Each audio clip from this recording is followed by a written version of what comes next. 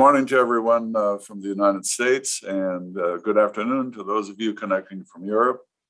Thank you very, very much for joining us this morning and this afternoon. Uh, my name is uh, General Jim Jones, United States Marine Corps retired, and as the chair of the Three Seas programming at the Atlantic Council's Europe Center, I'm delighted to welcome you to this timely conversation on the Three Seas Initiative Investment Fund. Obviously, this event comes at a very somber moment. Uh, Russia's invasion of Ukraine has returned war to the European continent and threatens not just Ukraine, but the entire Western alliance, uh, and especially among our Central and Eastern European allies. While the three Seas and the entire region of Central Europe have long been of critical importance to the West and the Atlantic Alliance, their security and priority have only become more critical since Russia launched its latest aggression. I've seen the importance of this region firsthand during my time as NATO's uh, military commander, and I have witnessed the looming and destabilizing threat Russia constantly poses in the region. Our Central uh, European allies and, and friends have not forgotten this threat, and neither should we in the West. And this is where the Three Seas Initiative comes in. A project launched and led by the Central and Eastern European countries to accelerate the development of cross border transportation, energy, and digital in- infrastructure. The Three Seas Initiative is key to completing a Europe that is whole, free, secure, at peace, and I might add, prosperous. That vision is under great challenge today, and more must be done to reinforce Central and Eastern Europe and further its integration into a wider and more resilient community of European democracies.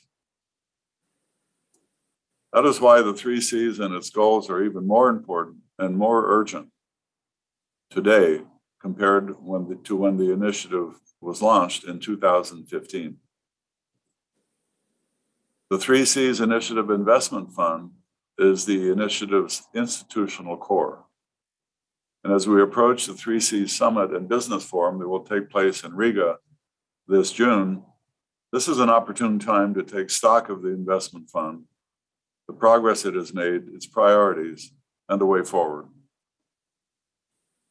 To discuss this critical topic of importance um, of the Three Seas Initiative, I'm pleased to welcome some of the foremost experts on the Three Seas from the region and the United States.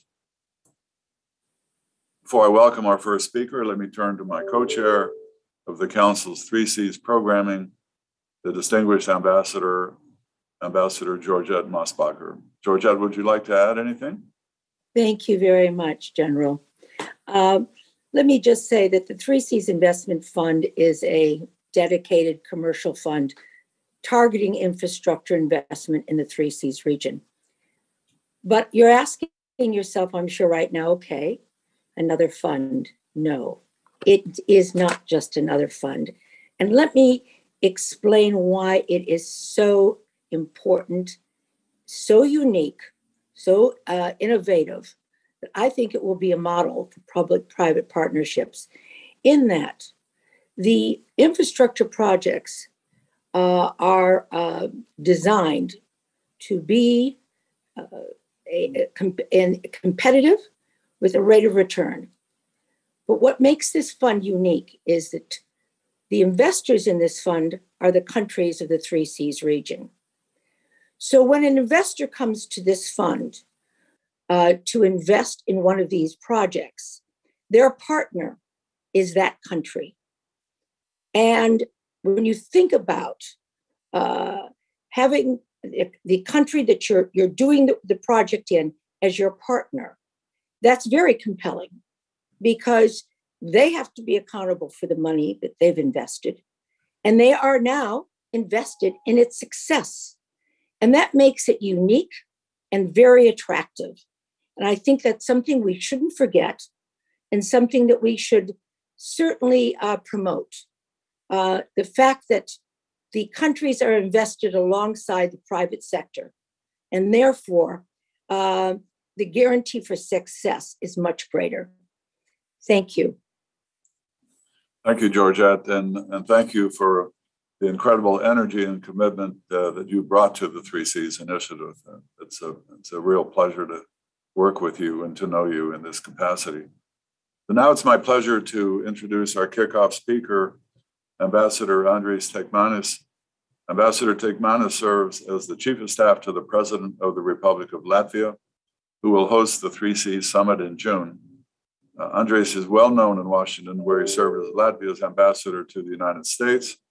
He has also served as ambassador to the United Kingdom, to Germany, Russia, and Austria, among other places, and in top positions in Latvia's foreign ministry, including as a state secretary.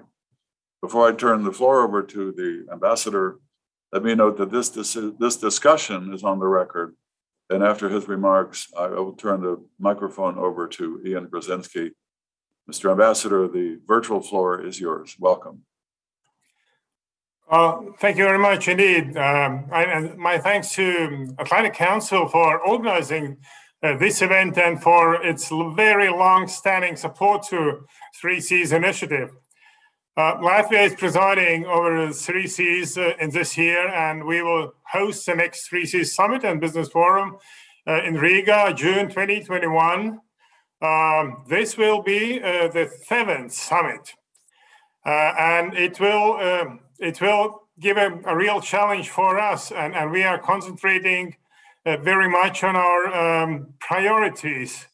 Uh, our, priorities, I would mention some uh, to get high level participation at the summit. So far, we have got really good response from, from presidents. Uh, we are working on contribution to the Three Seas fund from member states and from our partners, and I, I appreciate very much uh, the substantial move in United States uh, as um, United States contribution. Uh, we will work on our uh, extension of uh, st strategic partners. Uh, well, we have already Germany, European Commission, United States, but also we see a growing interest from other countries like Japan, United Kingdom, France, Canada. Um, we are concentrating, and that's a topic we will discuss today, on involvement on private investments to the three Seas investment fund. Um, we will work on um, and, and, organize our business forum uh, to uh, attract uh, targeted investments uh, to transport, energy, digitalization projects, uh, green um, projects in whole three Seas um, region. Business Forum will discuss and provide long-lasting benefits for development in uh, all these areas in, in three Seas regions and member countries. And we want to, to make some more visibility among um, three Seas member countries and bring three Seas idea closer to hearts and minds of people. Therefore, we are organizing uh, a month before uh, the summit, we will organize uh, Three Seas Civic Society Forum.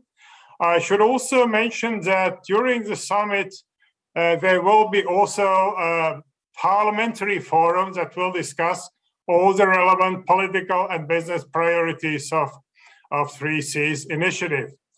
Uh, we will build um, on that what we have achieved. Uh, and we will discuss this in um, summit and business forum it's not just about boosting the economy uh, of today, but building economy for tomorrow. We want to have a meeting to focus uh, how we can achieve uh, a better resilience, better connectivity, especially north-south con- connectivity of the member countries of Three Seas region, and of course having in mind uh, all the last uh, events we are having. Uh, I mean, the, the war in, in uh, Ukraine, particularly uh, attention will um, pay to Ukraine and what we can do uh, with Ukraine, how uh, Three Seas region can cooperate with Ukraine. Uh, our aim, aim is to foster tangible results, fo- focusing on uh, few ambitious uh, but still achievable uh, deliverables so we can transform our vision into actions. Uh, to translate these ambitions to specific pro- projects, Three Seas invest- investment fund has been established, uh, and we will hear more about uh, these activities today. Uh, Three Seas investment fund, while adding significant value to the initiative, complements the EU investment and cohesion strategy. So it's really a part of EU policies, EU investments. It seeks to attract both public and private investments and supports priorities for in the areas of for climate, green mobility, transport, digitalization, and energy. Um, the contribution of all three Seas participants to the uh, investment would be one of the key deliverables, uh, including uh, contribution from all our uh, strategic partners. I'd like to highlight the importance of United States as a strategic partner and its support for uh, this initiative. Uh, going over many years and to, um, well, actually from the beginning of the initiative and uh, investments in a Three Seas fund. Uh, certainly, uh, U, U, US um, ownership uh, would encourage all Three Seas countries as well private investors. Well, you, you may know the Three Seas region is the fastest growing uh, region in European Union with a very attractive return of investments around 6% um, over uh, the last 10 years. That is 1 point times uh, higher than in Western Europe.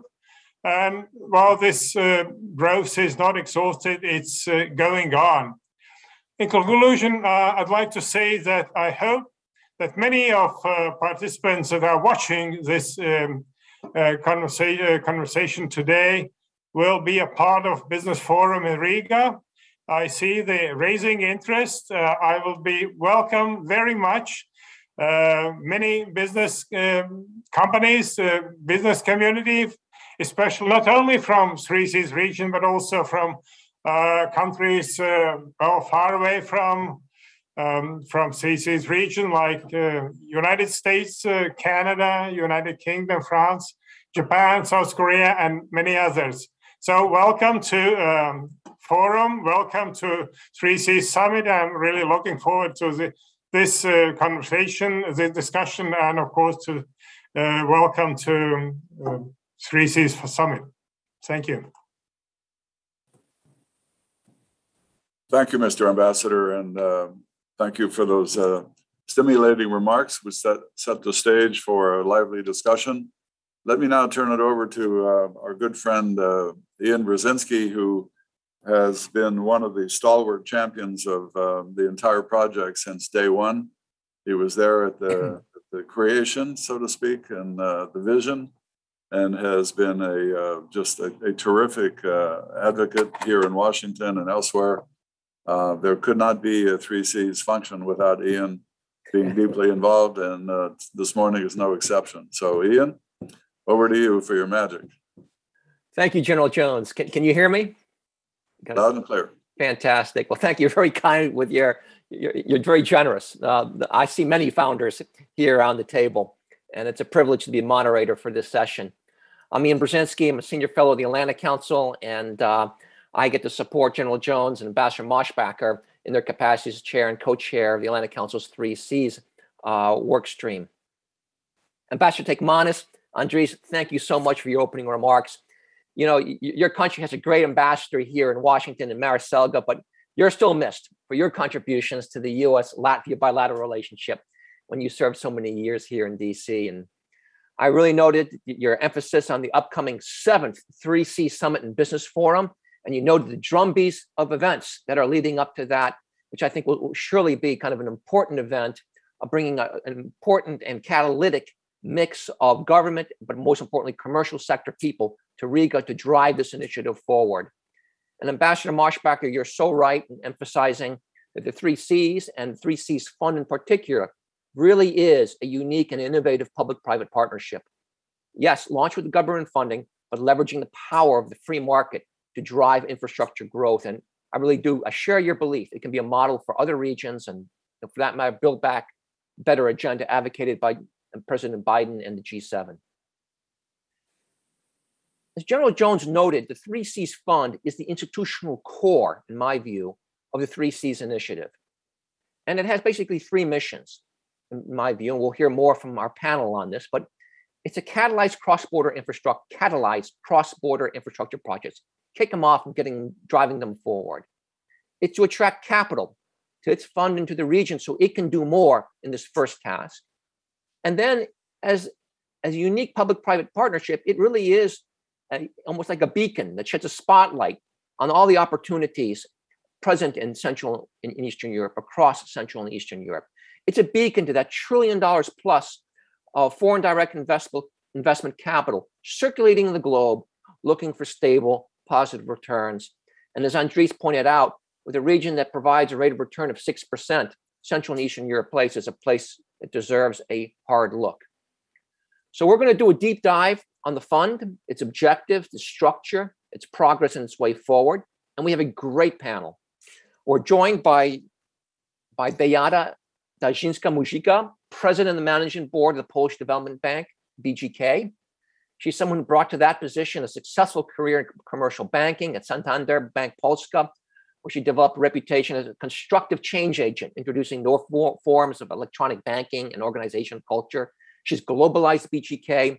And to demonstrate her, her credos as a change agent, she and her team generated the concept for the Three Seas Fund, launched it in 2017 and transformed it into something that's operational in 2020.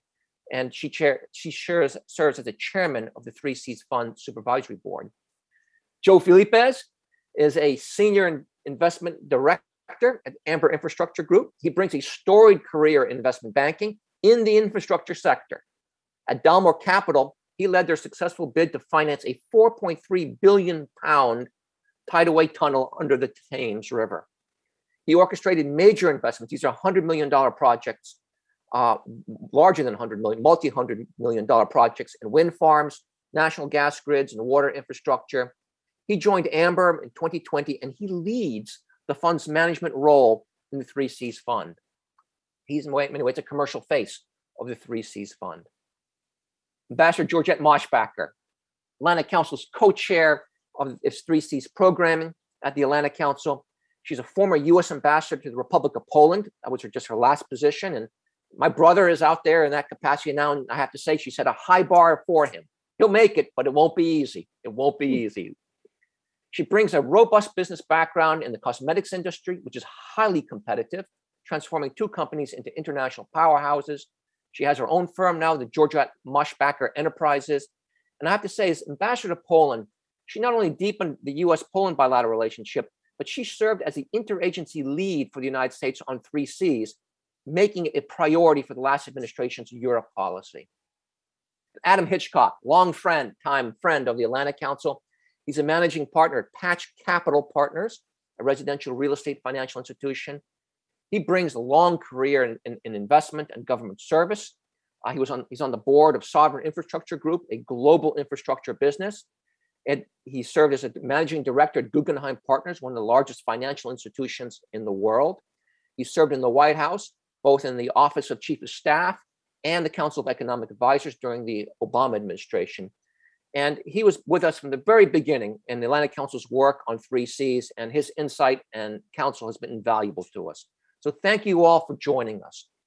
Uh, what we're going to do is we're going to start off with a mini quick presentation on the Three Seas Fund. I'm going to ask Beata to provide some introductory remarks.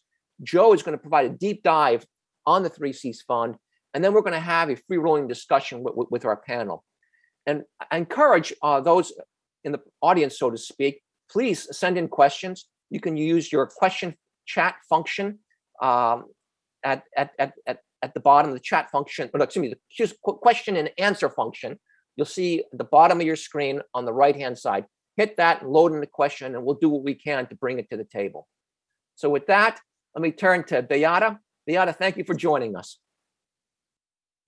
Thank you. Thank you very much, Ian, uh, General Jones, and uh, Georgette uh, invited us. And, and thank you for your all support for the Seas initiative and for the Seas Fund. It is hugely important how we as a joint power fight about this region. And today, when we have uh, witnesses and we are facing this very uh, tragic moment with the war in Ukraine, and we as at the closest border, uh, closest neighbors uh, to Ukraine as a Seas region, it is very important how we can uh, develop our region, how we can build and uh, build a stronger uh, region as a eastern flank of NATO. It is hugely important, and nowadays it is uh, easier to understand uh, to investors and the interlocutors why the Seas region is so important.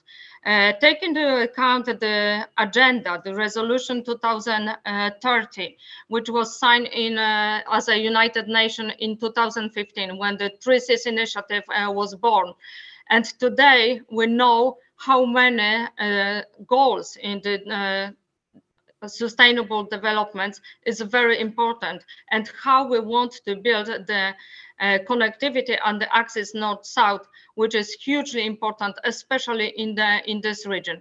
Uh, this, these figures, which was mentioned by uh, Ambassador uh, Andris Teikmanis, uh, it is very important because we as a, a, part of European Union, it is uh, the uh, the central eastern part of Europe, it is over 112 million uh, population with this fastest growing region with the total uh, GDP it is about 40 percent uh, and uh, with the with the 30 percent of territory of entire European Union. And at the same time we need to spend only for these three sectors as a, logistic and transport, energy and digital over uh, 600 billion euro to build the quality of our infrastructure, which will be comparable to the western part of Europe.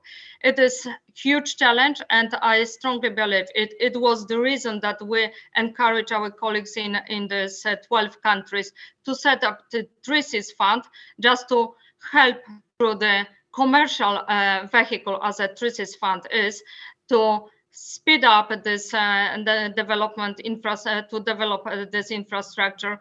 And I strongly believe that uh, Joe Phillips will bring you more details how it is important to invest through the Seas Fund, not as a hobby, but as a business, which is very attractive for the private investor as well. So thank you very much. Thank you, Beata. Joe, the floor is yours. Deep dive on the Three Seas Initiative Infrastructure Fund. Ian, thank you very much. Um, I think I, I'm going to put some slides on the screen, so I'm hoping that they will appear shortly. But um, whilst we wait for them to appear, I'm speaking to you today from our offices in Warsaw, um, which is where I'm now based. Um, I um, I have to say that um, I think that what I've what I've learned about spending time here in Warsaw is is how dynamic Warsaw and the region is, and I, will talk about that a little more. It's also struck me how difficult Polish is, so I'm not sure I'm ever going to master the language. But um, if we could if we can move forward, so let, let's um, um go to the first slide. Um, uh, one more, because I don't think the disclaimer is very interesting, and one one more again, please. That's perfect. So what I'd like to do is, uh, and, and as I go through this presentation, I think there are there are three themes that that will come up again and again: cohesion, convergence, and partnership. Um, but let's start with why does the um, Three Seas Initiative Investment Fund exist, and what is the opportunity it has? And, and, and as part of that, it's a the opportunity is driven by a problem we have to solve together in partnership, public and private sector. So um, the Three Seas uh, Initiative Investment Fund was, I think it can be best described as pol- politically inspired but commercially driven. The reality here is that in, in the uh, countries of the Three Seas Initiative, um, they form a very significant part of the population and the economy of the European Union. But after decades of communism, we were left very much behind in terms of economic development and, in particular, infrastructure. And infrastructure, good infrastructure, is a core part of any economy.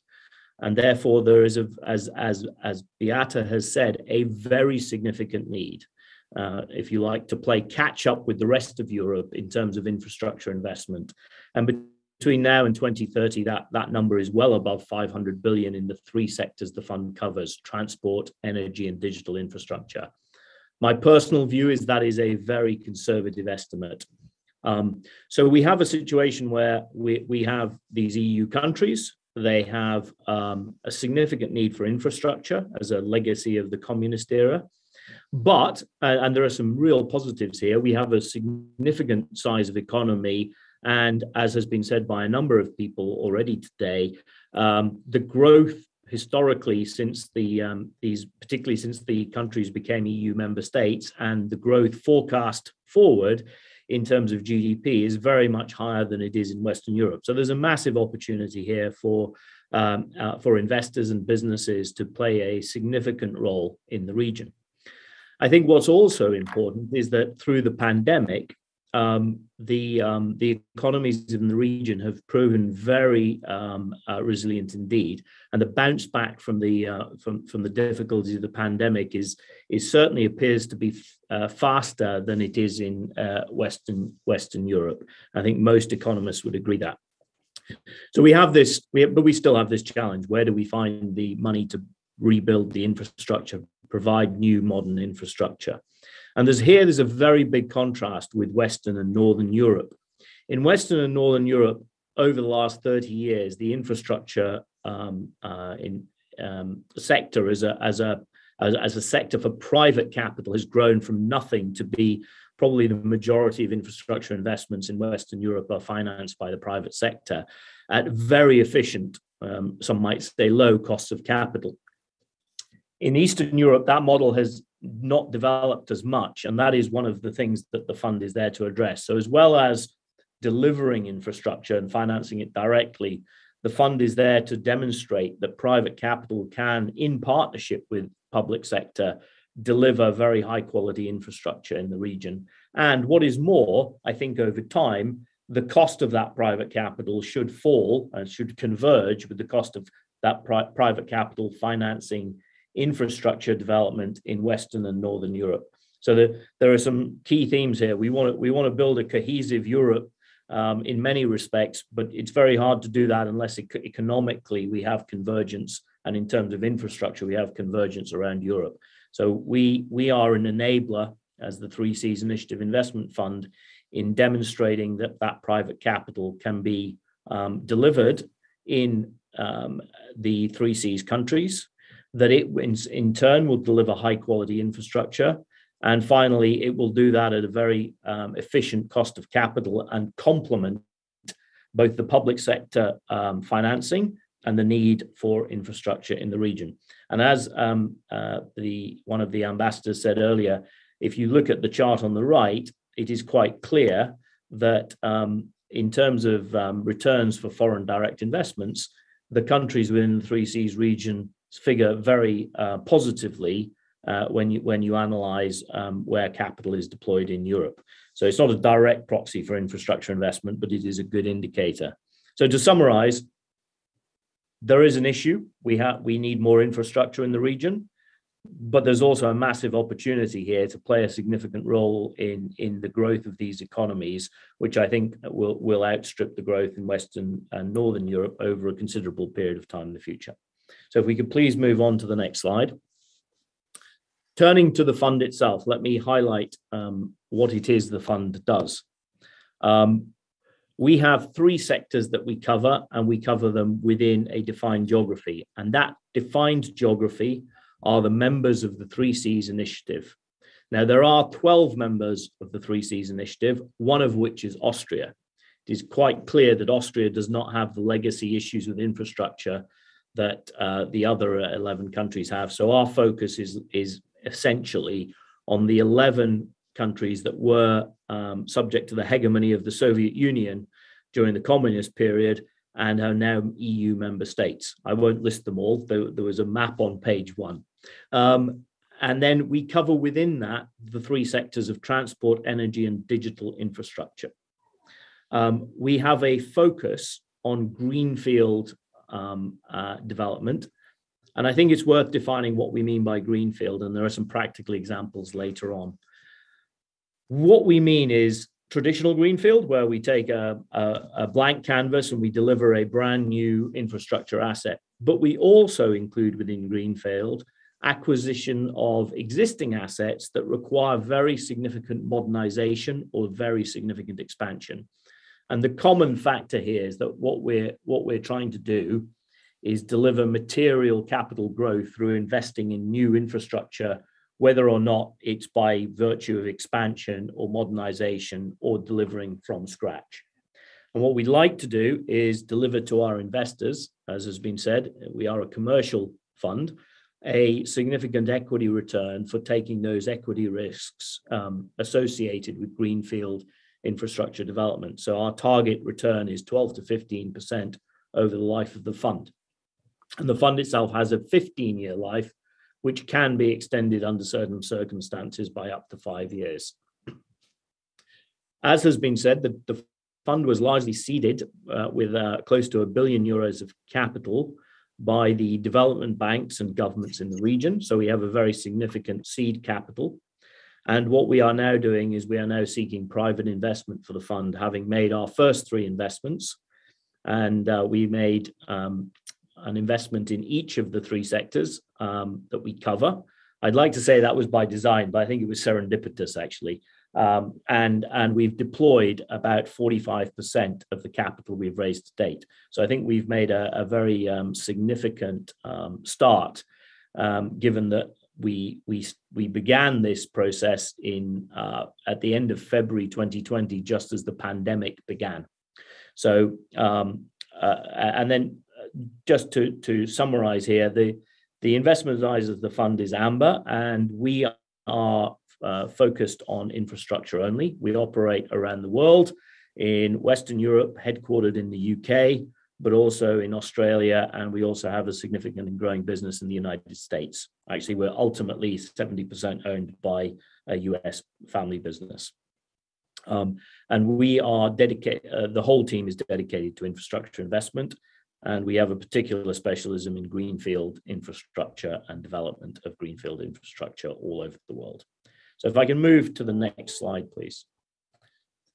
What I'd like to do is, is cover the, the, the structure of the fund. Um, and this is a, a simplified um, slide that shows, shows the fund. So the fund itself, the Three Seas Initiative Investment Fund, is a Luxembourg company that exists under a regulated regime in Luxembourg for investment funds.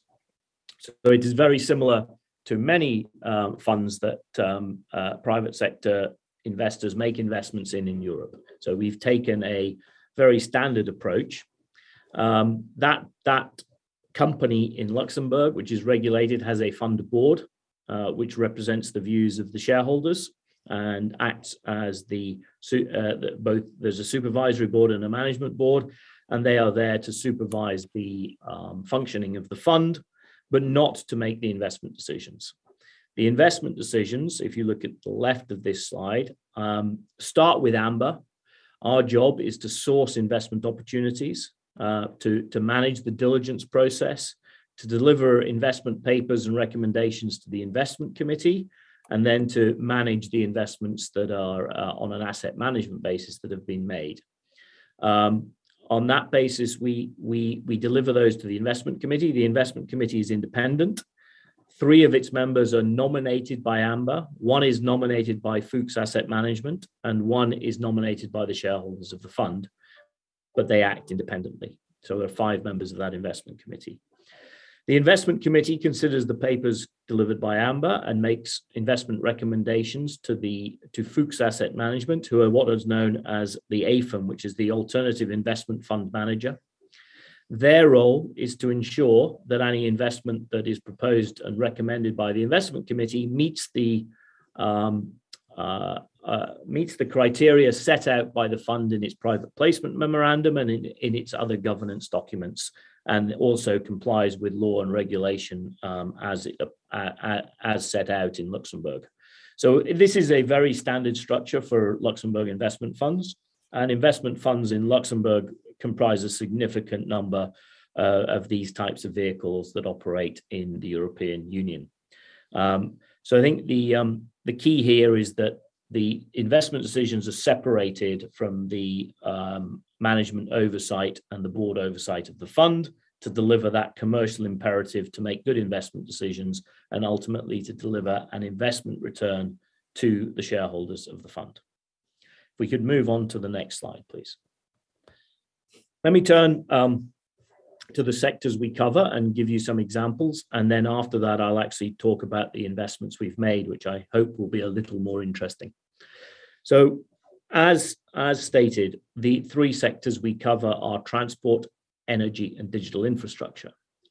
Um, to give you an example in transport, uh, we have um, a pretty broad mandate uh, and it's a very big sector with a very big need in the region. But to give you examples of things we look at, it's roads, um, rail projects, rolling stock for rail, ports, and airports.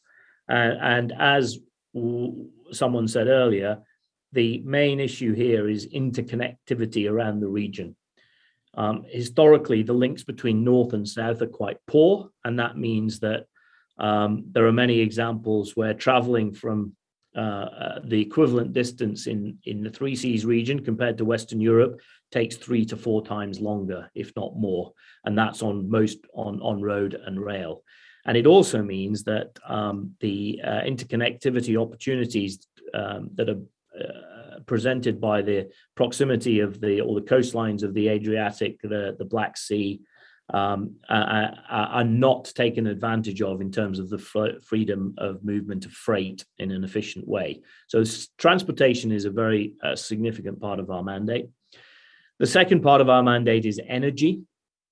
And again, um, what we're focused on here is energy transition and energy security. Now, within the region, um, there are a number of key requirements. One is to phase out coal generation. So we cannot make coal investments, nor can we make investments in nuclear generation. But we can make investments in renewable generation, in gas generation, in LNG, in pipelines, and in transmission and distribution networks.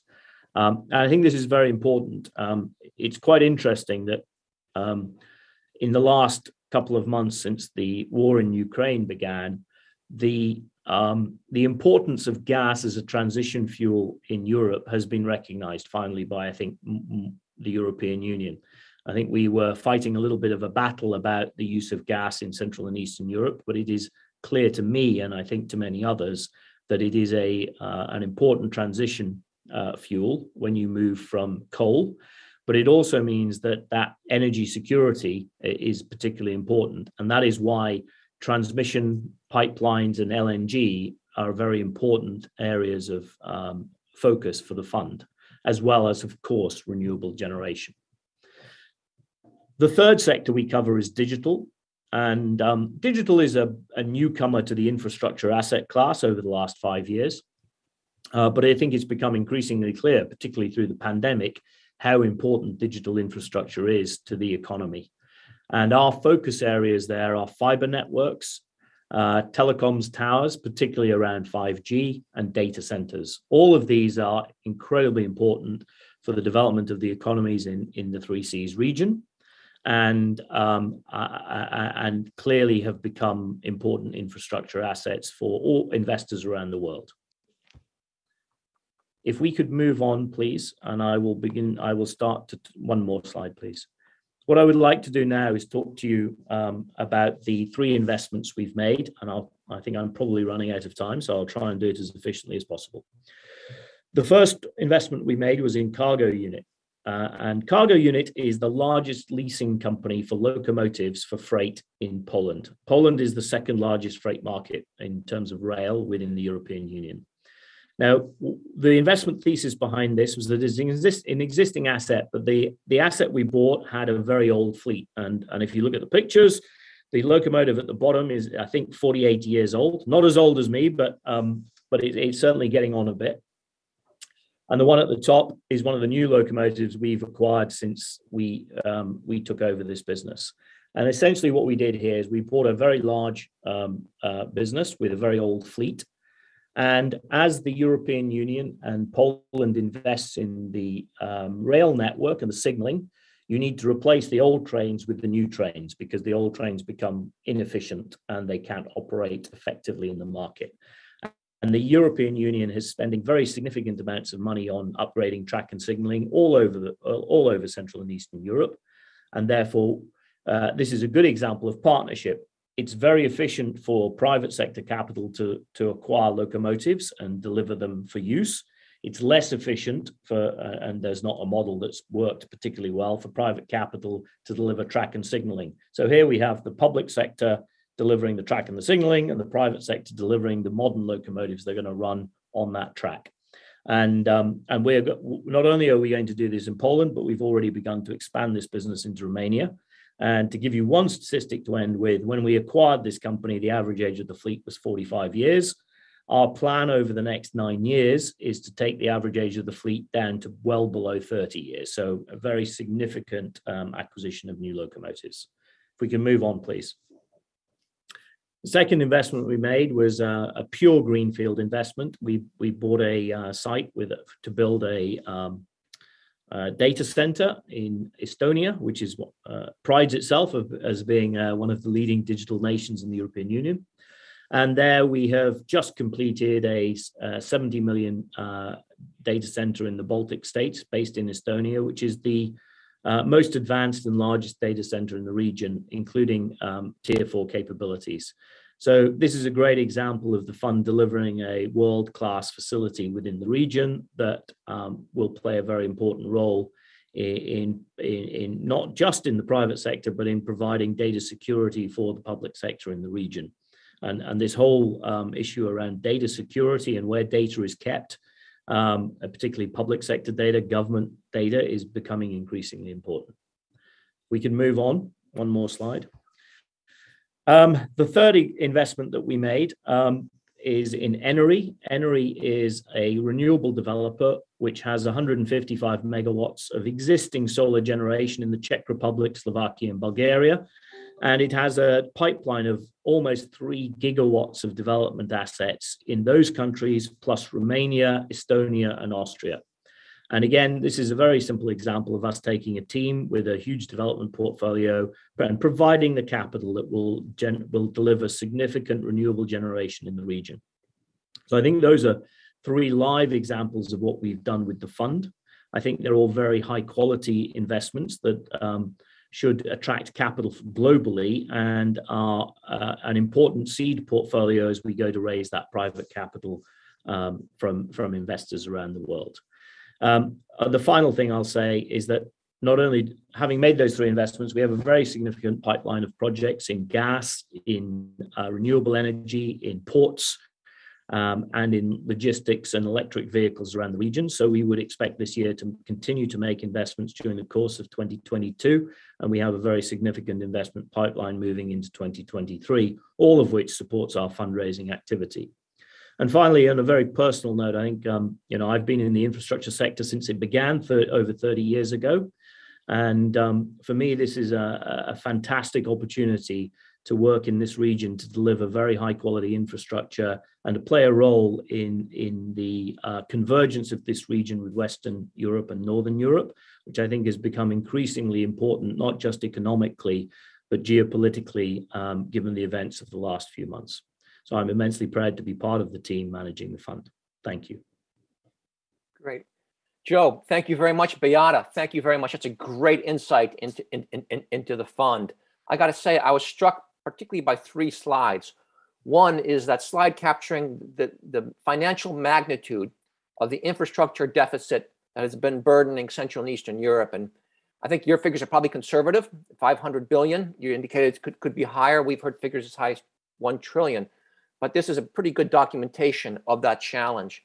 Second, I'm really struck by your the slide on the structure of the fund, and I hope we'll get a little bit into this, which is it shows how this fund, even though its initial billion dollars has come from the gov- government side. It is the fund is firewalled from political interference, so it is operating on purely commercial principles. You have to make a profit, um, otherwise you you won't be running the fund. Um, that's really really important because that's, that's a powerful signal to commercial markets. And then of course the first slide. This is what I would like to turn to the panel to touch in on. But that first slide, which is, you know, highlighted the, the opportunity and vibrancy of the region, 112 million people, 3.6% growth, EU membership, $2.1 trillion in combined GDP. Uh, that shows the power of collaboration. A region like that can probably attract more international investment than the individual countries themselves. But we are, you know, that, that is a powerful slide, and it, it, signals a great investment climate. Climate, but we're right now, and I've got several questions on this from the audience. We're right now in the middle of a of a war just across the border in Ukraine. How is that inv- invasion affecting the investment climate in which the fund is operating? Let, let me turn maybe first to Beata and Joe, since they're running the fund, and then I want to turn to uh, Georgette and Adam, some kind of commercial expertise on the outside, and see how they view this region. Beata? Uh, I only want to add uh, some small correction. Uh, the investment uh, uh, which was done by and commitment uh, by development institution, it is not government money. just to be clear, it is commercial money. So, so only one country it is direct money from government. It is only Estonia. The rest it is uh, represented by the uh, development banks, and we are the biggest investors, uh, BGK, with the 750 million euro. It is purely as a commercial. We are the, the in private investors is in many international funds, so we couldn't treat our commitment in the TRISIS fund as a government money. This is purely commercial money. So I want to add this because it's sometimes it is mix of understanding what doesn't mean the TRISIS fund, uh, which was uh, set up by the development institution from this country. It is purely commercial based on the market rules fund.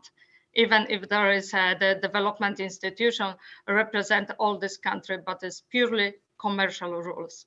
It is only my comments for this, uh, what, what you said, it is government. This is not government, okay? But what about Russia? How does the how does the invasion of Ukraine affect the investment environment offered by Central and Eastern Europe today? From from my perspective, I, I think uh, there is a lot of uh, emotion. It is uh, it is normal. It is uh, only one and a half uh, month of uh, this war and nobody knows what will be the, the, next steps. But from the other hand we are the member of the uh, european union. We are the member of nato and we have to think about uh, how to uh, build and how to invest in this region to build a stronger uh, this region as an eastern flank. Of course, uh, we show the potential. We show uh, our fastest growing region and the figures uh, shows that uh, this is uh, very important. yes, the war shows many questions for sure. Uh, but uh, maybe I pass the voice to, to Philip because uh, Joe Phillips, because Joe is the person who is responsible for the fundraising, and this is daily basis activities to talk with the investors and to provide the um, roadshows. So there is the, the more more information from his side. Thank you, Beata. Thank you. So I think um, that there are there are two parts two parts of this story. Um, the first is that obviously, um, when the when the outside world looks at the fund and looks at the region, geographical proximity to Ukraine is is for at the forefront of of, of their mind. Um, and then the second part of the story is what is actually happening on the ground. So we have three existing investments. So every day um, since well before the uh, actual invasion when when uh, we have been looking at the impact on those investments. And i think the conclusion we've reached very firmly is that geographical proximity to ukraine is not the determining factor as to whether or not an infrastructure asset is um, is impacted. The reality is that some will be impacted in a negative way for different reasons. So there are some um, global macroeconomic issues that have, have become much more pronounced as a result of the war in Ukraine. So inflation, in particular, um, uh, cost of funds, interest rates, all of these things are global, but they impact uh, investments wherever they happen to be, including in this region. The second thing is that, um, and, and you know, it pains me to say it in some ways, there have been positive impacts in certain investments as well. So if you if if you have a, a energy generation today, the energy price has increased. Generally, that means your returns are, are going up. Um, if you operate port facilities in in areas where there are very significant um, agricultural exports, the rates and the uh, the rates for shipping those exports and the and the volumes have gone up because of the war in Ukraine. Now, it pains me to say that, but but I think the point we're trying to make to the market as a whole is we're still making investments. Our investments on the ground are largely unaffected, um, and and geographical proximity is not a proxy for the impact. Uh, the example I always give is that if you're in the London financial services community, the impact of sanctions and the war and the war in Ukraine might be much greater on your business than on the investments that we in the Three Seas Initiative Investment Fund have in cargo unit, in Enery, and in uh, Greenergy in the region. So, so very strong message from us. Uh, we are. It's it's uh, slightly counterintuitive in some ways, but it is um, one that we believe we can evidence very strongly. Georgette, Adam, your careers have straddled government and in, international investment. What's your perspective of the impacts of geopolitics on, on the region today as an investment environment? Well, uh, I'll take that first, I guess. Uh, if you look at what we've learned from this, uh, from Russia's invasion of Ukraine, it has highlighted the fact that energy security is national security. And um, this was basically a coal burning region. And now they have to transition. But we're also seeing that the EU, uh, 40, they, they are get 40% of their energy from Russia. So all of a sudden they're scrambling as well. And um, I think given the fact that energy is one of the three pillars of the Three Seas, there's a big opportunity here, not only in the transition, but in the, um, also in nuclear. Now, I realize we can't invest in that um, I hope we can change that. The EU has changed their regulations on, on nuclear, civilian nuclear. But the opportunities for LNG, um, for the terminals, the pipelines, is tremendous. And uh, I think this is one of the, again, uh, coming out of this war, although many of us knew this before this happened, uh, Poland in particular, was uh, did not renew their contract with Gazprom uh, this year because they put uh, a lot of LNG into play uh, so that uh, they could be energy independent. This is going to be a big opportunity, I think. Adam, you've worked in some rough environments. You've invested globally. Uh, you've been focused on infrastructure in Africa and elsewhere in Central Asia, but now also Central Europe. What's your perspective on the investment climate today in Central and Eastern Europe? Yeah, I mean, you know, I think you know the investment climate can ebb and flow depending upon you know uh, whatever the headline is. Um, but I would say that for this region, you know, the fundamentals remain the same. Um, you know, as others have mentioned, you know, this part of the world is a great investment opportunity you know, strong growth, rule of law, stability, part of Europe, and so on. But I think the questions relate specifically to Russia is about what does it mean for these countries if you assume trade and engagement uh, with Russia will be significantly less going forward?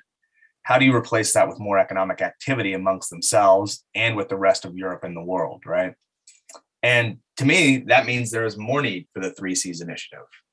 So you're going to need more significant infrastructure investment because of the way legacy infrastructure was set up, you know, after World War II with a focus on east-west back to Moscow. You know, there needs to be a greater prioritization of integration amongst the three C members, you know, north-south, but also obviously linking back and further integrating with Western Europe. Uh, and as we've mentioned, you know, that need is in the trillions.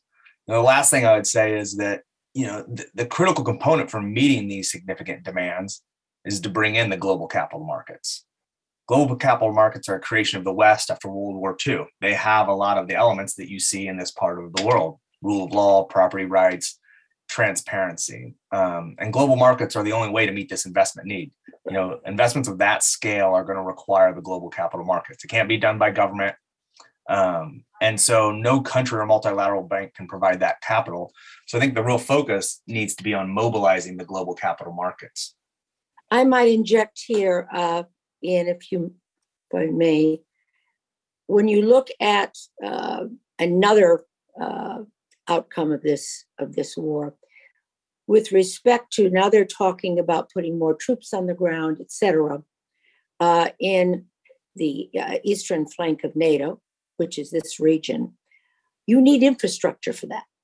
You need roads, you need bridges, you need communications. You will now, I think, see there's an opportunity with respect to the infrastructure for national security reasons in areas that they didn't think of that before. Let me t- touch on an issue you raised, um, uh, Georgette, and that's energy security. We've got a couple of questions um, coming in on energy security. And th- one question is from Elena Poptodorova, former ambassador to the United States.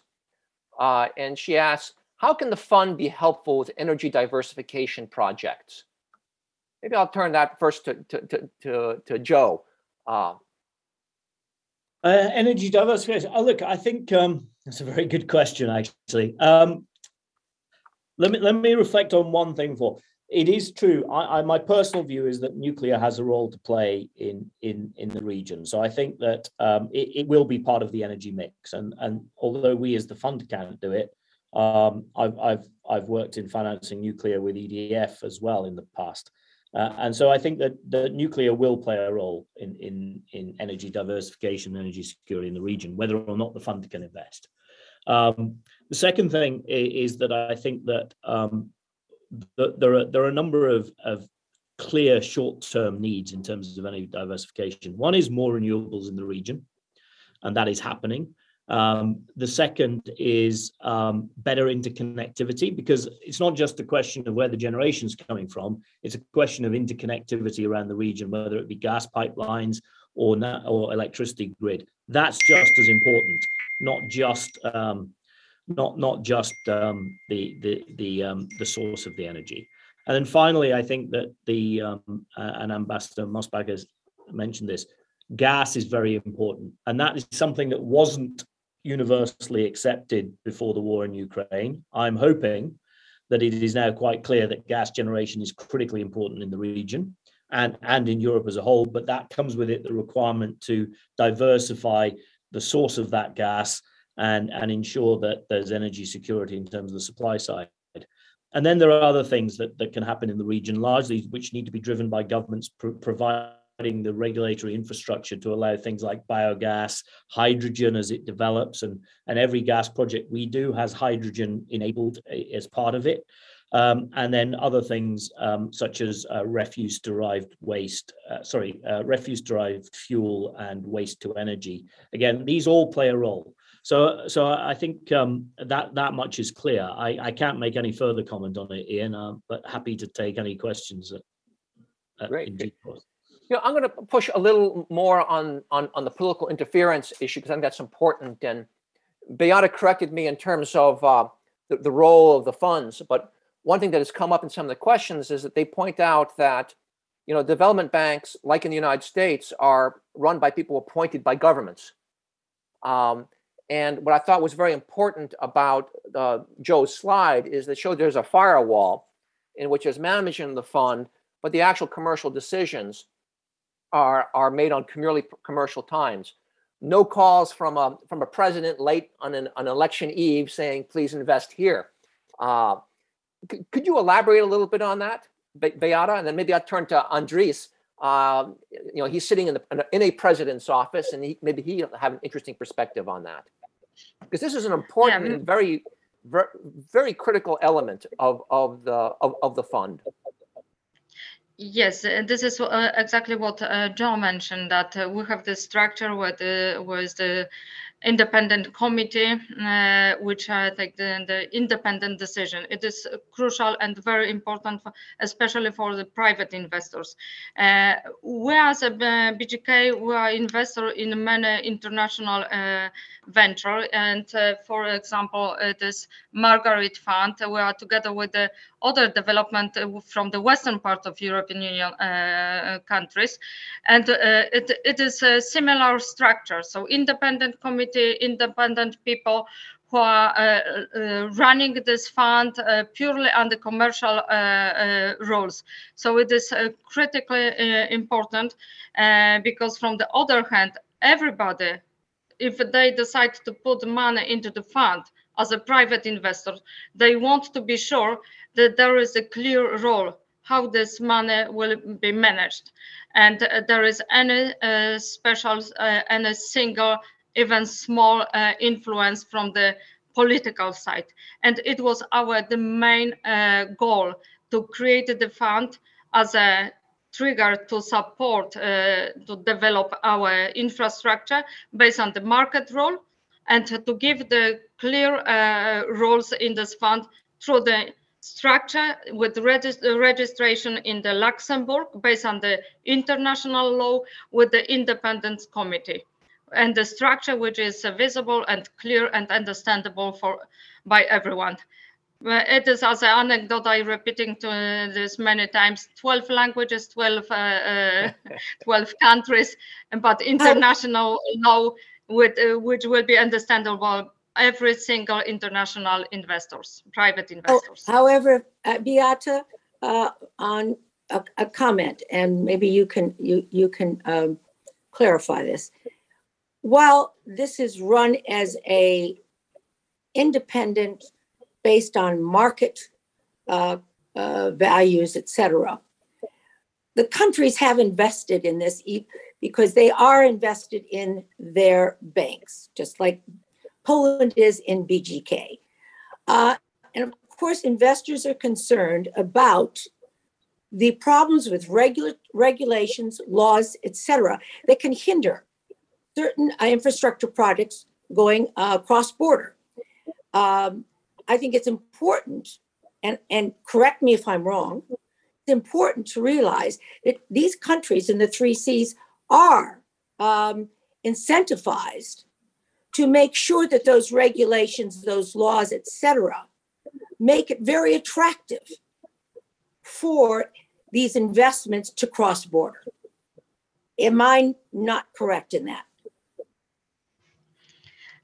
It is correct, and uh, this is what we discussed uh, with uh, investors, and that if you want to invest in the Seas region, uh, it is better to invest through the Seas fund because you have the whole picture of all countries and how the connectivity and the infrastructure yeah. that we need in this region is visible when you look on the map and see it uh, from Estonia to Croatia and Bulgaria, the whole region.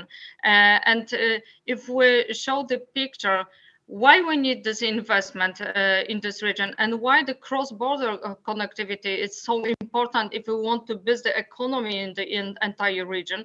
Uh, and this is an example that we discussed lately with many investors. How many bridges is between uh, Bulgaria and Romania and the river, uh, uh, which is 480 kilometers? And when we ask this question, how many? It is maybe 20 50 yeah. 30 there is only two. This is uh, there is only two bridges. And it shows why we need this investment. Of course this is not for fun. This is uh, as a picture why we need this investment in this region uh, as a part of european union with the stable uh, economy with the fast and growing region with this very stable uh, legal aspects because we are a member of the European Union, with a member of the NATO, and with the region with a huge potential that could be developed and how to open uh, broadly these three main gates under our three seas, Baltic, Adriatic and the Black Sea, and to build the connectivity between this uh, between these uh, seas. Yeah, that was the point I was trying to make, that you've got 12 countries invested uh, in the three Seas. And it's important to know that it's at the presidential level. And uh, consequently, that really makes these investments very attractive because there is this coordination that you rarely find in, the, in these investments otherwise. And that's what makes this fund so unique. Andris, did you want to jump in on this? Well, um, I, I can I can agree that with uh, with that uh, that all the projects uh, are really commercially driven. Well, but sometime, uh, sometime I think governments need to be these engines or gives us inspiration. Uh, what is actually the whole the whole idea of, of three Seas? When when governments in in twelve countries discovered that actually, well, there are very good connections east west, but quite missing connections northeast, uh, north north south and and they had to give this push they give this inspiration um, to to make better connectivity. Well now i think the the big challenge is having um, having in the east and reconsidering how how profitable uh, is the business uh, energy business with russia well i think we will face very very uh, huge consequences uh, for many years um, uh, business with Russia and energy business with Russia, uh, well, has has been has, has been running on a commercial base. Now it has proved that it is politically very risky. So it's a, it's it's not business. It's government who should make a push. Well, at the same time, um, I would imagine that the Latvian president would be the very last person who would give instructions to our Latvian Development Bank, who is a member of, of the fund, 3 Seas Fund, who, who is running the uh, part of the management and uh, assessment of, of the project.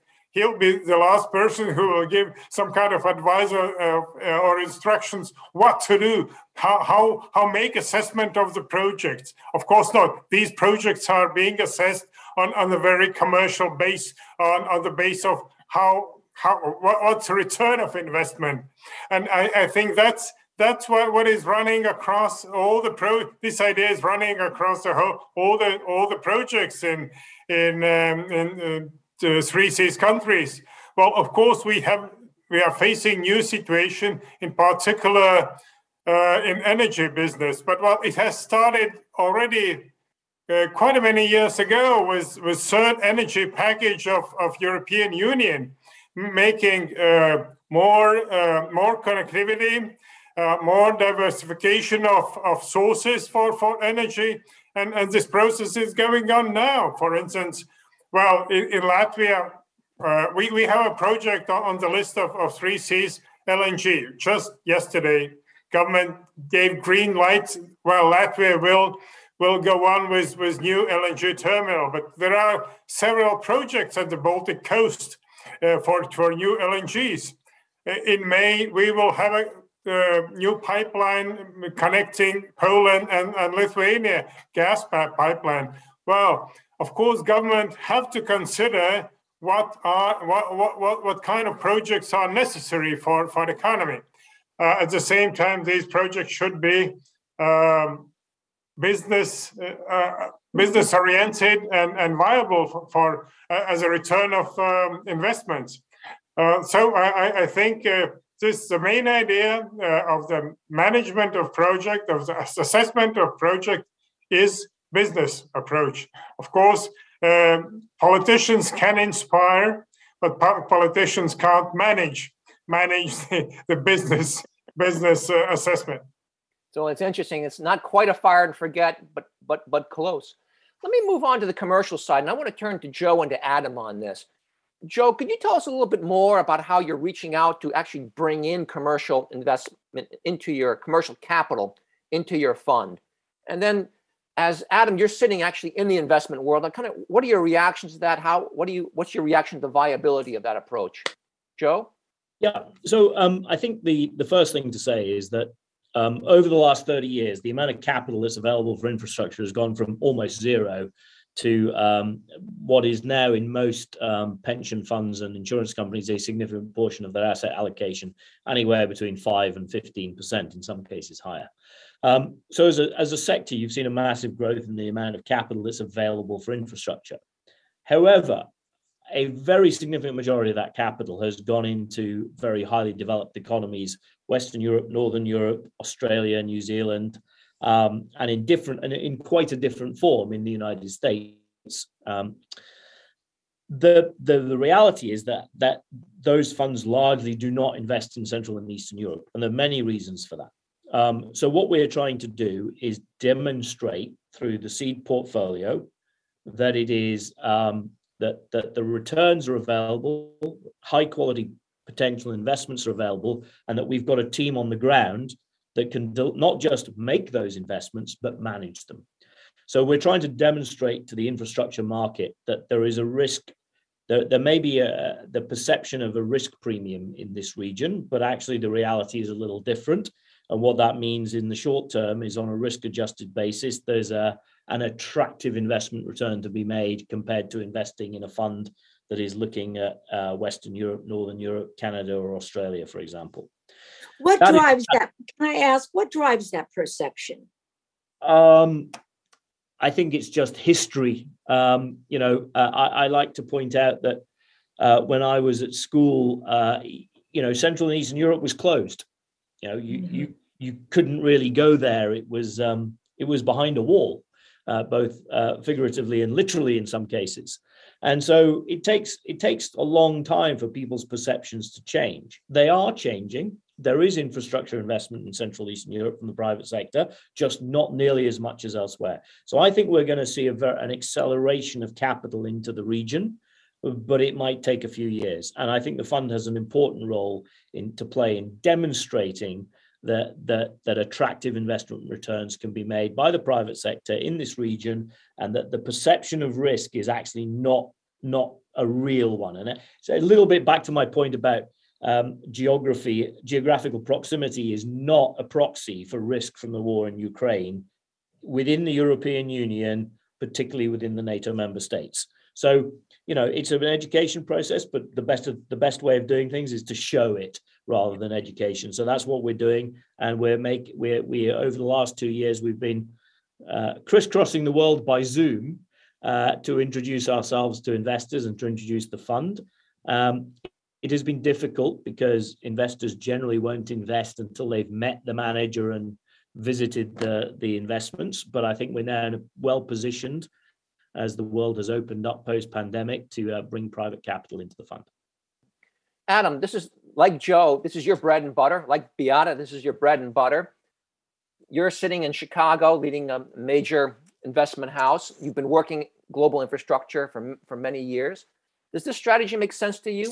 I mean, can you go to your clients and say, wow, the investment, three Seas investment fund is something that is well worth considering? I mean, look, I I agree with everything Joe just um just said, and you know, I I think that the steps so far are you know quite positive with the fund. Um, you know, I, I like think of it as like you know, for me, you know, what they're doing is a critical first step. Be, going back to what I said earlier, you still have to deliver the capital markets as a whole. Um, but I think this is a good first step to uh, showing, as Joe said, that you can generate a, a, a really attractive risk-adjusted return. And so, you know, the way I think about what they're doing is, you know, their success is not just tied to the total dollars deployed, because no matter how big their fund gets, the need is just going to outstrip it by by many multiples. Um, so to me, what they're doing is, you know, it means more beyond those dollars deployed. The fact that you have all, you know, all these various countries that are participating, right? That is a good signal. And I think that, you know, to me, it's can you show that this is a model for co- cooperation and coordination between the three S, the three Seas countries, right? You know, having some form of a secretariat or entity that's helping source investment opportunities, things like that would be helpful. If you can see this move beyond um, just what it is now and get traction where there's a place that's sourcing investment opportunities. And the other thing too is like, you know, a lot of these investment opportunities won't make sense for private equity. I mean, private equity is just a small piece of the overall types of investing that should be occurring there as it relates to infrastructure.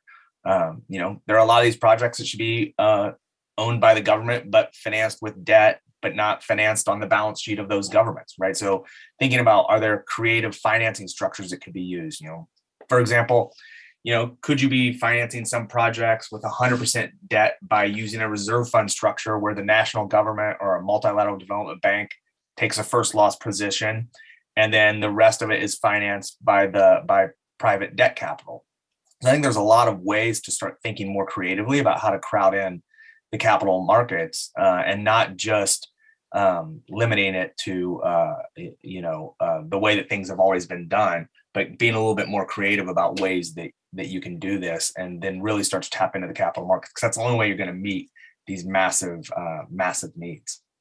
I think to Joe's point, it's interesting on the creative aspect of this and the fact that you do have uh, all of these countries that are participating. But I'm also um, bothered by the perception point. And uh, there should be a concerted effort on the part of the Three Seas initiative to uh, really take a look at that perception question and see how we can um, we we can change that perception. Faster we change that perception, I think the quicker and easier it will be to get that investment money. And um, but to to Joe, Joe's point, we need a secretariat and we need a team to do that. Here, here. You know, let me move on to one important issue that I think it shapes a bit perception, and that is the U.S. commitment to invest $300 million through an equity investment into the fund itself. And I'm looking at maybe, maybe Beata, could you give us an update on what is the status of those negotiations? Because I have to say, I'm concerned. I don't feel this is a, a, a fault of the Three Seas Fund. I'm very concerned about the United States balking on an important commitment that was made over a year and a quarter ago. Uh, and it's a commitment that's, I would argue, has even increased urgency as we try to strengthen this, help actually help the Central Europeans do what they're doing on their own to strengthen the economic resilience of an important set of allies of, of, of the United States. So, where are we on these negotiations, Beata? Uh, the, the current uh, negotiation is running by uh, Amber Infrastructure, but of course uh, uh, we are doing our best uh, to have a meeting in the years in the coming coming weeks with IDFC also to, to give more information what is going on and when we can finalize our agreement because the visibility of US in the Seas Fund is very very important. And everybody are uh, very carefully uh, observe what is going on and when the US uh, takes this decision to be the, the member of the fund, not only as a strategic partner for the uh, for the Seas initiative on the political level. Um, because it is hugely important. It was uh, the some announcement uh, in Munich in 2020, the 1 billion, and everybody always uh, repeat the same question. Beata, how is it with this one billion dollar in uh, uh in the fund? Of course, we have a very advanced dialogue with the DFC, and uh, fingers crossed everything will finish with the success. Uh, may I uh, give it the one sentence about the PR awareness about the Seas Fund? This, I fully agree with you. We need this and desperately. The more marketing about the region, about the fund, and uh, one our common initiative it is uh, the uh, uh, house in Davos, and I uh, I strongly believe it will be the turning point how to build uh, the uh, visibility and understanding why the uh, region is so important. Uh, and we start, as Adam said, many investors need to understand what is this region, how to invest in this region, and the diversity of all countries. It is huge. Uh, and we start this long journey, to be honest. From the other hand, what uh, Mr. Uh, Ambassador Teikmanis uh, uh, mentioned, the role of politician side, it is also very important because as we mentioned at the beginning, it is gaps which uh, total amount of money it is about 500 600 billion uh, euro dollars doesn't matter it is huge amount of money that we have to spend for our uh, infrastructure gaps the size of our fund is only three to 5 billion euro. So it means only one percent.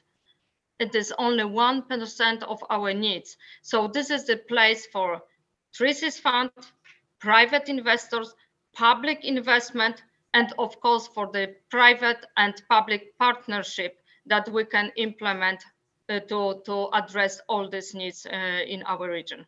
So Thank this is my short comment. Thank you. We're closing in on, on our last few minutes, and if I don't ask this question, there's going to be a virtual riot out there, and you can imagine what it will be. We got many questions about new members, and so I'll put it broadly and combine a couple, but we have Bulgarian from the United States. You know, what are the possibilities of adding new members to the Three Seas initiative? Now, this is really beyond this panel because this is a Three Seas fund. But the question out there, and maybe it's more for for Adam and and Andris and and um, and Georgette, but Beata and and, um, and and and and Joe, please jump in. What about Ukraine? Where does Ukraine fit in the Three Seas vision, or I should say, where does Ukraine fit in the Three Seas fund vision? As I understand it, you're the, the the mandate is to invest in multinational cross-border projects has to involve at least one 3C state, can involve two 3C states, but could also involve, a project could also involve one 3C state and a non 3C member state. So how should we be thinking, how should 3 Seas be thinking about Ukraine? How should the West be thinking about the 3 Seas initiative and the region of Central Europe as a whole?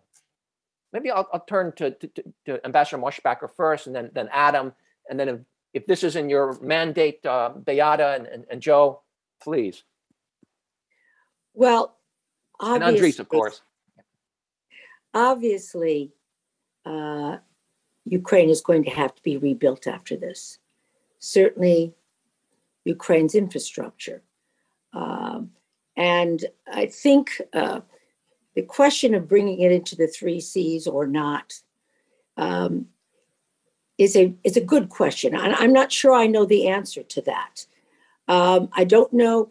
You have to weigh the risk uh, that will be uh, associated with that while the war is going on.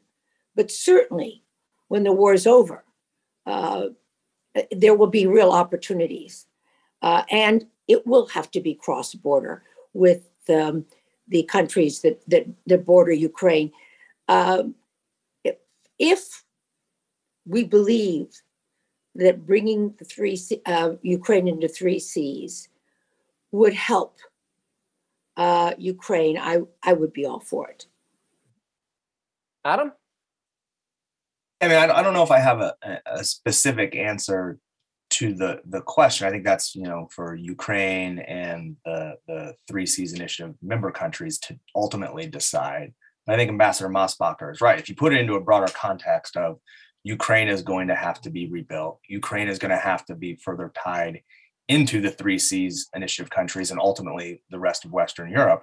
And it goes back to some of my comments uh, earlier, right? If it is about a north south axis and then integrating more into Western Europe and away from Russia, well, Ukraine is going to try to do that exact same thing, right? So they're going to have to try to achieve what the Three Seas initiative is trying to achieve, and they're going to have to rebuild a lot of infrastructure. So whether it's a formal partner or uh, somebody who works closely or a country that works closely with it, it feels like there's an obvious need there. And I think, you know, if I were in government and, you know, I have lots of friends in this administration, is as you think about, you know, integrating Ukraine into the West and the rebuild that's going to have to happen, you know, I think three Seas would obviously be be a part of that in some capacity. Andris, you're living the three Seas world. You're in the president's office. Uh, how, how are you thinking about Ukraine and three Seas? Well, um, I think we, we need to, to look at the Three Seas initiative as whole as a dynamically developing project. Well, on one hand, of course, the 12 countries of Three Seas region have fixed their basic and, and main aims, uh, interests, um, well, priority areas where to cooperate. On the other hand, um, well, the situation is dynamically changing all the time. And of course, uh, on one hand, uh, we have invited President Zelensky to, to the summit. Um, well, to decide more, well, the discussions ab- about Ukraine, of course, are are going on uh, among all three, uh, all 12 member countries, and of course, to make decisions, we need consensus decision. We we need all countries to agree how to expand. Uh, possibly uh, three seas area. On one hand, of course, Latvian, as we are presidency, and our um, task is on one hand to consolidate uh, the project, to make the project, to make pro make projects run more, to be run more efficiently. Uh, on the other hand, we of course we we need to to be open to um, expansion, to um, cooperation in other regions and that's what we are doing. That's why why we have invited also uh, countries like uh, well Canada or or um, Korea or or, or uh, France and and uh, United Kingdom. Well, um, we need to think about it, but but formal decisions, of course, need to be made by all member countries. So we we, we have to look at this project as a as a movie. It's it's not snapshot. Uh, and, and, we need to discuss well uh, two months ago was uh, one situation two months later the situation is completely different two months later let's say um, ukraine has made a formal application to eu to, to three seas regions all countries are eu member countries well all these aspects we need to keep in mind but of course I, I can say we are discussing discussing among all the member countries the situations and and how how to to make make the better solution. Great. Ian, well, I'm going to give, give the last words to Joe and then and then Beata there. Beata will have the closing closing yeah. shot. If, if, I may, I mean, from a, I'm going to talk about this from a purely financial perspective in terms of raising capital and deploying capital, um, and and from a fund perspective. Greece makes perfect sense in terms of raising capital and deployment and risk profile. So you're you're approaching the same group of investors for a similar risk profile. It makes perfect sense. Uh, uh, Ukrainian investment is a different risk pro- profile entirely for many many reasons. What I will say, though, is I think it's incumbent upon all of us to play a role in rebuilding Ukraine. We all have we have expertise, we have know-how, we have experience. So surely there is a way of us all finding a way to bring that experience and expertise to bear and find a separate pot of capital that can assist in the rebuilding of Ukraine. I think that's incumbent on all of us. We want convergence, we want cohesion, we want partnership. So we should find a way. Fantastic. Beata. Yes, this is exactly what I wanted to underline. Uh, the the fund is uh, the it is different than the Three Seas uh, initiative on the political level. So uh, when we start to talk about the money and investment, uh, we know how to distinguish the Three Seas initiative and the Three Seas fund. Uh, we have, as, as Joe mentioned, the risk profile. we decide to uh, have the three type of investors. So the core sponsors, it means the representatives, um, mainly the development uh, banks from our region, the Three Seas region. A supranational sponsor, it means international uh, development institution like EBRD, EID, EBI, uh, EIB, uh, World Bank, and the others. Uh, and the third part of investor is limited partners. And uh, uh this limited partners, are this private equity that we are looking uh, around the world. So in in this uh, aspect, uh, how we think about the others uh, members of the Three Seas initiative from the fund perspective, it is a different story because if any uh, private investors from Ukraine wants to be member of the uh, Seas Fund and invest uh, in, in, this region through the Three Seas Fund, it is possible, yeah. But we're thinking in the other uh, side how to help through the fund to uh, recover Ukraine after war. So it is a different aspects from the financial point of view. We need uh, we we can have a number of investors around the world. Doesn't matter where were from. Uh, but from the other hand, what uh, and who could, uh, could be the member of the Seas initiative, it depends only on the political level and only from our presidents. So I, I wanted to add about the three types of investors and the risk profile, which was mentioned uh, and underlined by, by Joe. So uh, probably it is uh, only the beginning of our long journey. And as uh, Ambassador uh, Teikmanis uh, mentioned, it is only beginning. We never know what will be the next step. And we have a number of questions about Greece, Finland, Moldova, uh, Ukraine, uh, Albania, and the others, Western Balkans. So this is a different story. And the fund it is a little bit different story, even if it's uh, inspired by a politician, but driven by the market rules and I guess I would add that whatever the Three Seas Fund does it for Ukraine or Western Balkans, it will always, the fund will always be focused on commercially viable projects, which can be helpful, but it's not an assistance program. It's a commercially driven initiative. You know, with that said, I have one quick question to Joe and that lots of question, a lot of requests for your briefing. Is that something we can share? Uh, yes, let me double check it, but um, I, I before I get into trouble with compliance, but I think so. But I'll come back to you on Thank that. you. Everybody, Andris, Joe, Adam, Beata, Georgette, thank you so much for your time. You really underscored, you know, the dramatic challenge of infrastructure in Central and Eastern Europe. You highlighted how the Three Seas Fund is playing a unique and in- innovative uh, uh, role in addressing that problem. So, what is a public-private partnership that, that is having real impact, real investments? And you kind of outlined a bit the way forward. So, we're looking forward uh, to future meetings like this. We know it's going to be a highlight of the Three Seas Summit and Business Forum that Andris and his president are hosting in Riga this June. And we thank you again for your time. And we thank everyone in the audience for participating today. Thank you. Have a great day. Happy Easter. Happy Easter. Happy Easter. Bye.